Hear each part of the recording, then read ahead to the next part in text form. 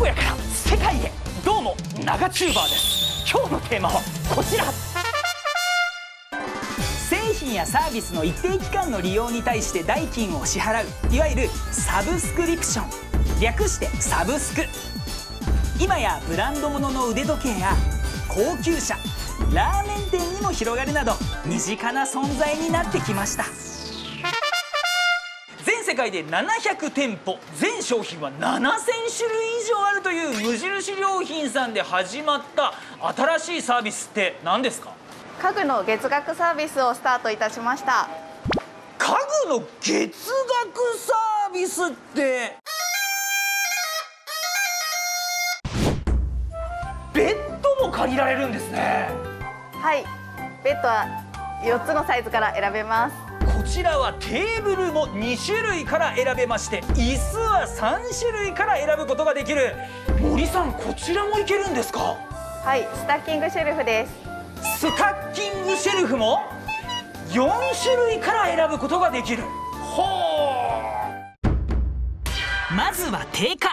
サブスクで借りるとお得度はどんだけ？まずはベッド一番人気というシングルサイズは購入した場合2万9900円。収納ゾーン。チョイスしたのは購入価格2万4900円のタイプです。本棚とかにもなりますよね。そうですね。ベッドの横。ベッドから本がすぐ取れる。いいですね。ねいいですね。続いて勉強テレワークには欠かせない。机は？ちょっと横にしましょう。はい。オーク材を使った折りたたみ式の購入価格は1万9900円。あ戻します。はい。ベッド棚机椅子。お次は椅子。3種類の中で長チューバーは購入価格。1万4900円のオーク材タイプをチョイス。完成！これが僕の無印月額定額。夢の部屋。このベッドシェルフ机椅子を元々のお値段で買うとおいくらですか？はい8万9600円です。なるほど。来月お子さんが大学に入るお母さん。一括払いは大変ですね。例えばじゃあ4年契約にすると月々おいくらなんですか？月々1800円です。え月1800円でこれ全部借りられちゃう？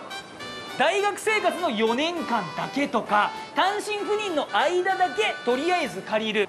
日々の暮らしに新しい風が吹きますね。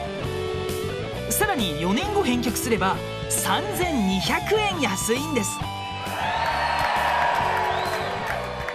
4年続けたその先はどうなるんですか？はい気に入っていただければ買い取りもできますし返却もできますネットショッピングを運営するサイトによると一人暮らしの初期費用はおよそ28万円。お母さん家計を上手にやりくりしてこの春を乗り切りましょう。何でもやります。長チューバー。チャンネル登録。よろしくね